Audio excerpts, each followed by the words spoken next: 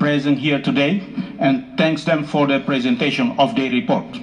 Timor-Leste is pleased to note from the report that Gambia has enacted the National Human Rights Commission Act and established moratorium on the death penalty. Timor-Leste, therefore, wishes to commend Gambia for taking important steps to promote human rights in the country. Furthermore, Timor-Leste welcomes the establishment of the Truth, Reconciliation and Reparation Commission and hope to see a positive outcome.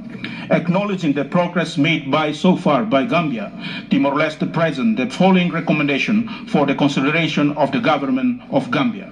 Thus, Gambia promotes women representation in all decision-making positions, in particular in the legislative and executive branch. Thus, Gambia enhance its effort to increase social security coverage and that's Gambia abolish the death penalty. Timor-Leste thanks Gambia for its engagement and wish its success in its future endeavors in their continued effort to promote and protect human rights. I thank you, Mr. President.